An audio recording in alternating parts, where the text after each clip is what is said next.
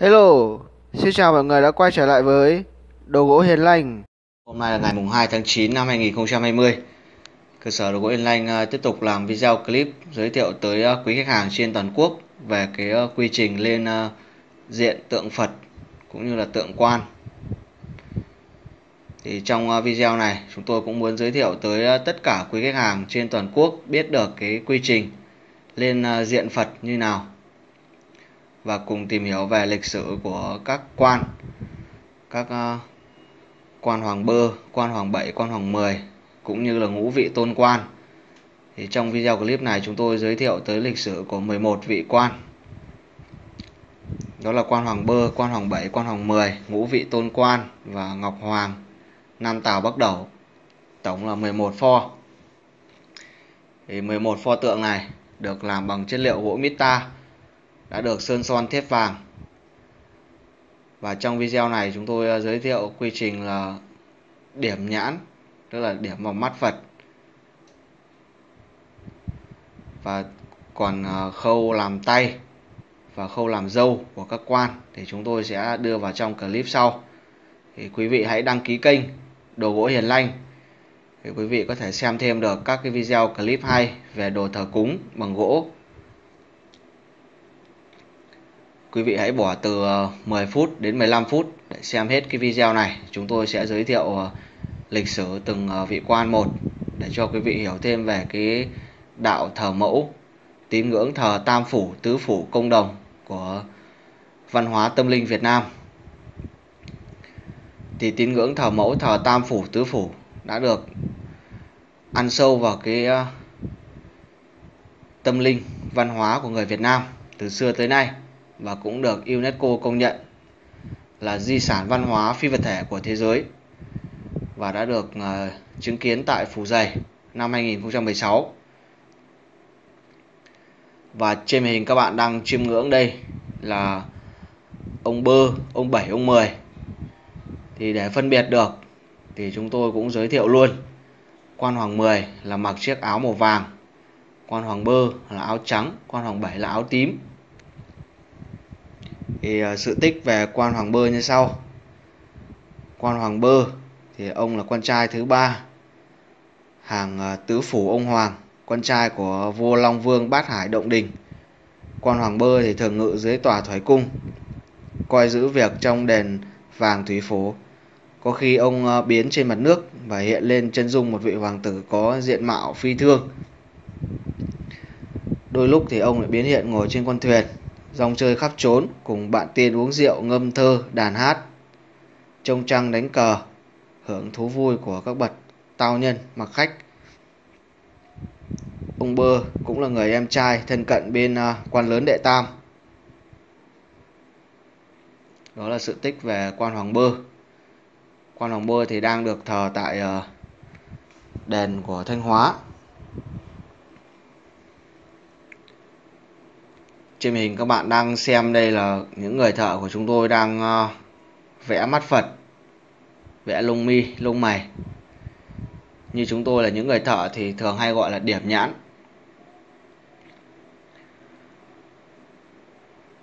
Các bạn đang xem đây là quan ờ, đệ nhị. Thì lát nữa chúng tôi sẽ làm ờ, pho quan đệ nhất sau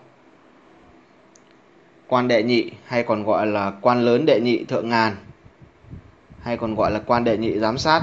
Có một số người thì gọi là quan thanh tra giám sát. Quan lớn thì vốn là con trai thứ hai của vua cha bát hải động đình. Ông ờ, theo lệnh vua cha hạ phàm đầu thai vào hoàng cung. Thì có sách nói là ông hạ phàm vào ngày mùng 3 tháng 11 năm Ất Dậu vào một nhà quý tộc. Ông là người văn võ toàn tài, thông minh chính trực, được khắp nơi ờ, ngưỡng mộ. Các vương tôn công tử đều thuận tình đến làm học trò. Đến khi ông về chầu thiên đình thì ông lại được giao quyền giám sát, cai quản sơn lâm thượng ngàn. Ông à, giáng thế ban phúc cho dân. Khi dân chúng bị hạn hán, cầu đảo ông thì lập tức có mưa thuận gió hòa. Đó là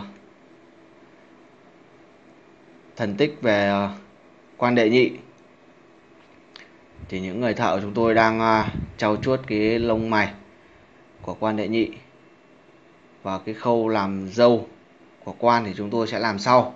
Chúng tôi sẽ đưa vào clip sau. Thì quan đệ nhị là một trong à, ba vị quan lớn rất hay ngự đồng. Trên uh, dân gian mình hay gọi là những uh, giá hầu đồng. Quan đệ nhị khi ngự đồng thì ông mặc áo xanh xanh lá hay là xanh lá cây, theo rồng hồ phù, và làm lễ tấu hương khai quang trứng sớ và múa kiếm. Cách hầu quan và giám sát thì có nơi múa đôi kiếm, có nơi múa một kiếm, và có nơi thì lại múa một kiếm một cờ. Đó là các cái giá đồng về quan đệ nhị. Cũng như là quan đệ nhất thì khi khai đàn mở phủ thì người ta thỉnh quan đệ nhị về chứng đàn nhạc phủ thượng ngàn và ngựa mã là đều là màu xanh. Và ngoài ra thì vào những cái dịp đại lễ như mở phủ khai đàn tạ phủ thì trước ngày làm lễ thì người ta thường thỉnh quan đệ nhị về thanh tra giám sát đàn mã đền phủ. Quan giám sát thì đang được thờ hai nơi chính là đền quan giám ở trên huyện Hữu Lũng tỉnh Lạng Sơn là nơi uh, chấn giữ miền Sơn Lâm. Và đền quan ở phố Cát Thanh Hóa là nơi uh, quan giáng hạ dạo chơi vào ngày tiệc chính là ngày 11 ngày mùng 10 tháng ờ, 11 âm lịch. Thì các ờ, ngũ vị tôn quan này thường gắn với các cái giá đồng, quan đệ nhất, quan đệ nhị, quan đệ tam và quan đệ tứ, quan đệ ngũ. Đệ ngũ thì chúng tôi hay gọi là quan đệ ngũ tuần tranh. Đền thờ thì đang ở, đặt chính ở ninh giang, hải dương. Và các bạn muốn tìm hiểu thêm thì các bạn có thể gõ những giá đồng những ờ, giá hầu đồng hay là hát văn hầu đồng về các ờ, ngũ vị tôn quan. Quan đệ nhị thì mặc áo màu xanh mà quan đệ nhất thì mặc áo màu đỏ. Quan đệ tam áo màu trắng quan đệ tứ áo màu vàng và quan đệ ngũ tuần tranh là áo ờ, màu xanh như nước biển. Để phân biệt à, chúng tôi làm tượng này là theo đơn đặt hàng của bác, khách hàng ở Quảng Ninh. Bác đặt cho phủ thờ thánh mẫu. Thì tượng thánh mẫu liễu hạnh thì bác có rồi. Bây giờ là thiếu tượng quan và ngọc hoàng nam tào bắt đầu. Thì ba vị quan hoàng 10 ông bơ, ông 7 ông 10 chúng tôi làm với kích thước là chiều cao 78 chiều dài là 30 và chiều sâu là 40 tính cả đế được làm bằng chất liệu gỗ mita sơn son tiếp vàng Đài Loan phủ hoàng kim.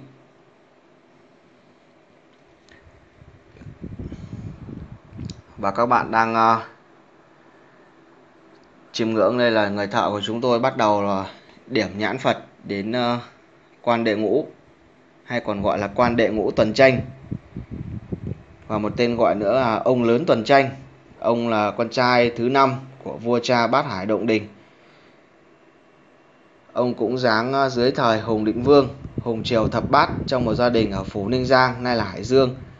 Thì ông cũng là vị tướng quân tài ba, kiêm lĩnh thủy bộ, được giao quyền chấn giữ miền ở duyên hải sông tranh ông đã lập được nhiều công lao to lớn nên được sắc phong công hầu. Đó là tiểu sử về quan lớn tuần tranh.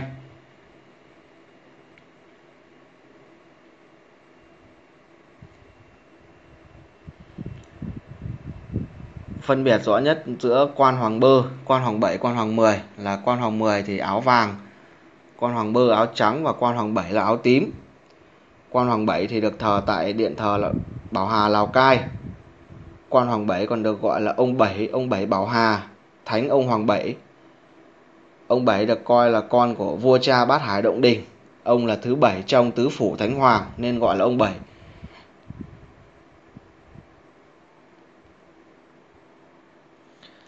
Còn về sự tích ông Hoàng Mười, ông Hoàng Mười hay còn gọi là ông Mười ở Nghệ An, ông là con của vua cha Bát Hải Động Đình, vốn là thiên quan trên đế đình, thần tiên trốn đào nguyên. Theo lệnh ông à, giáng trần để giúp dân phù đời, về thân thế của ông khi hạ phàm thì có rất nhiều dị bản. Và như chúng tôi được biết thì à, người dân Nghệ An cũng chia sẻ là ông Mười giáng sinh thành tướng Nguyễn Xí, một tướng giỏi dưới thời vua Lê Thái Tổ mà hôm trước chúng tôi cũng đã bàn giao đôi ngựa thờ cho dòng họ Nguyễn Đình phái chi 2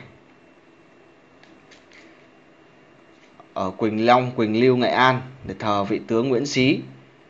Nguyễn Xí cũng được mệnh danh là ông Hoàng Mười giáng thế.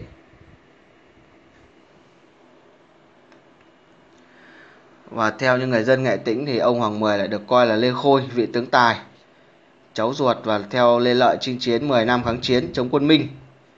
Và sau đó thì đến ờ, Nguyên thần Tam Triều Lê Gia thì phong đến chức khâm sai, tiết chế thủy lục, chư dinh hộ vệ thượng tướng quân.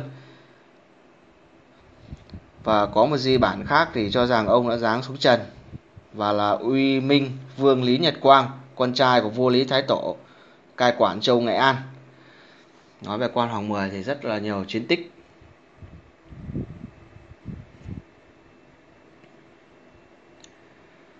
Các bạn đang xem đây là vị quan lớn tuần tranh. Chúng tôi đang ờ, điểm son, điểm ria và điểm ờ, lông mày, điểm mắt. Thì trong video này chúng tôi cũng giới thiệu ờ, các cái tiểu sử về các vị quan để cho quý khách trên toàn quốc phân biệt được mỗi một vị quan thì gắn với một màu áo khác nhau và kích thước của năm vị quan này như sau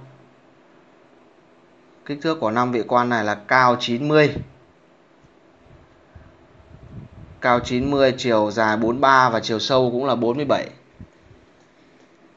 đều được ngồi trên ờ, đế để làm bằng gỗ mita và được biết thì sau khi chúng tôi hoàn thiện xong thì ờ, bác sẽ kê vào ờ, không gian thờ thánh bằng các bàn, các ban thờ. Các bác đã làm bằng bê tông rồi.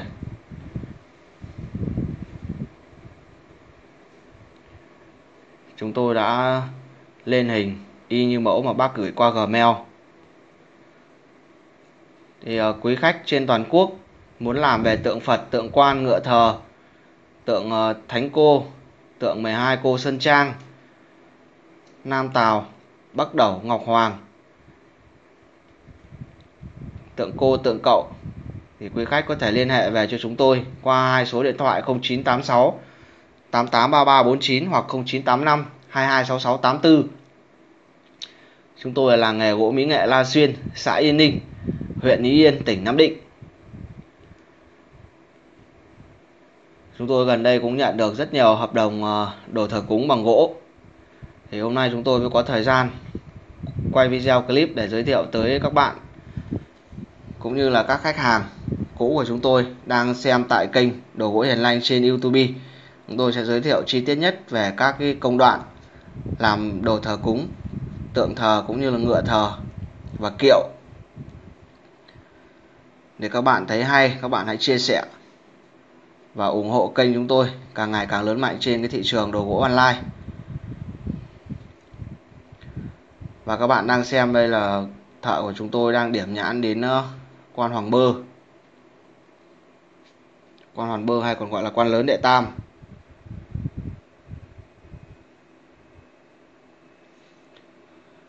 Quan lớn đệ tam, hay còn gọi là quan lớn đệ tam thời phủ, hay còn gọi là tam phủ vương quan. Tam phủ ở đây không phải là số lượng phủ, mà ý chỉ là thủy phủ là phủ thứ ba trong hàng tứ phủ. Vậy nên còn có thể gọi là bơ phủ vương quan.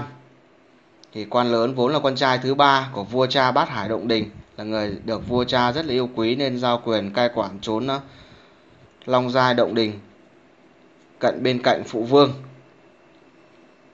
và dưới thời của hùng vương thì theo lệnh vua cha ông cùng à, hai người em có sách nói là hai người thân cận lên giúp vua hùng chỉ huy thủy binh thì lúc này ba vị giáng ở đất Hà Nam được nhân dân tôn thành tam vị đại vương, trong đó quan đệ tam là người anh cả trong ba người nhưng lại có điển tích nói rằng thì chỉ có một mình quan tam phủ giáng trần vào nhà quý tộc dưới thời Hùng Vương.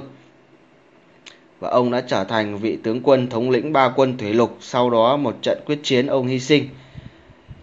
Phần thượng thân đầu và hạ thân mình, trôi về hai bên bờ con sông à, Lục Đầu, thuộc à, Hà Nam. Đây là quan lớn Đại tam. Thì các bạn có thể phân biệt là quan lớn đại tam thì sẽ mặc áo màu trắng. Và đây là các bạn đang à, xem đến người thợ của chúng tôi đang điểm nhãn lông mày của pho Ngọc Hoàng. Ngọc Hoàng tức là người có chức cao nhất trên thiên đình. Có thể bố trí uh, sai được các uh, quan. Và bên cạnh uh, cận thần của Ngọc Hoàng thì có Nam Tào và Bắc Đầu. Pho Ngọc Hoàng này chúng tôi làm với cái kích thước là cao 1m17, chiều dài 43 và chiều sâu cũng là 47. Toàn bộ là làm chất liệu gỗ Mita. Khi làm được đồ thờ cúng thì gỗ Mita chiếm ưu thế rất là cao. Gỗ mít là gỗ mít lõi, có độ bền rất là lâu năm và chất gỗ rất là thơm.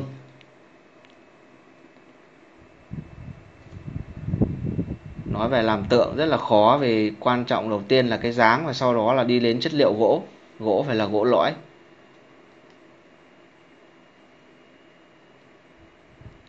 và khi điểm nhãn như này chúng tôi cũng tuyển những người thợ có tay nghề cao lâu năm trong ngành. Người mới vào thì không thể làm được.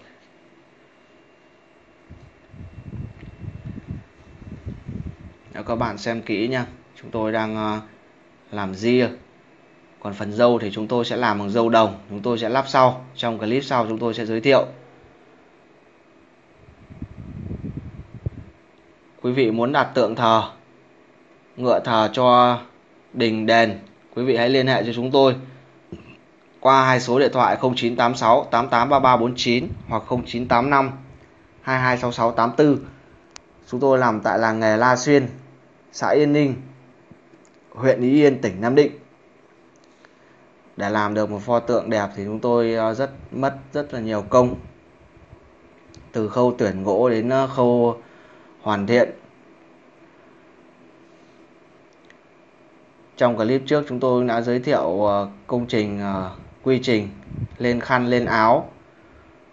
Để phân biệt được ờ, rõ thì hôm nay chúng tôi với lại tiếp tục giới thiệu khâu điểm nhãn tô son. Vì mỗi một quy trình khô thì chúng tôi với lại tiếp tục quy trình khác được. Không thể làm liền cùng một lúc.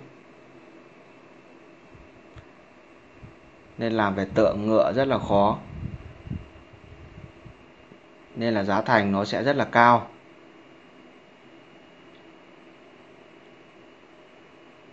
Chúng tôi tỉ mỉ trau chuốt đến à, từng chi tiết nhỏ nhất. Các bạn đang xem đây là Ngọc Hoàng Đại Đế. Còn lúc trước là chúng tôi đã giới thiệu về năm vị quan, ngũ vị tôn ông, quan đệ à, nhất quan đệ nhị, quan đệ tận, tam quan đệ tứ và quan đệ ngũ. Và ba ông quan là quan hoàng 10 quan hoàng bơ, quan hoàng 7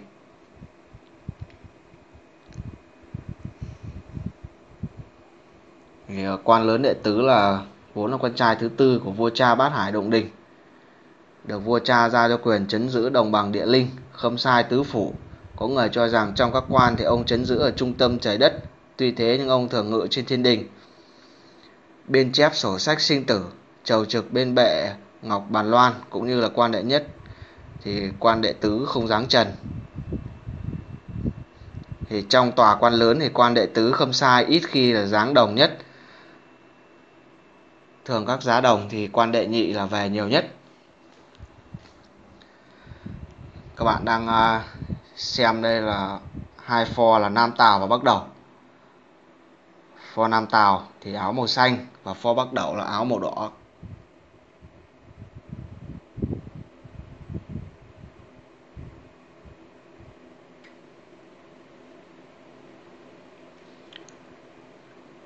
Và các bạn có thể chiêm ngưỡng là đằng sau vào năm vị ờ, tôn ông. Chúng tôi đã lên ờ, hình xong.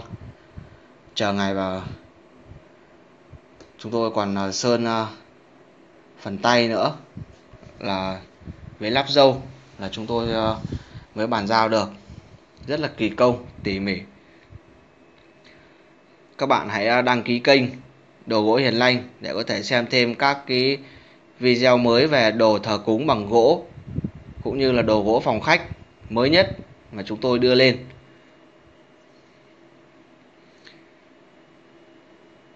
Quý vị có thể xem ờ, video được chi tiết hơn.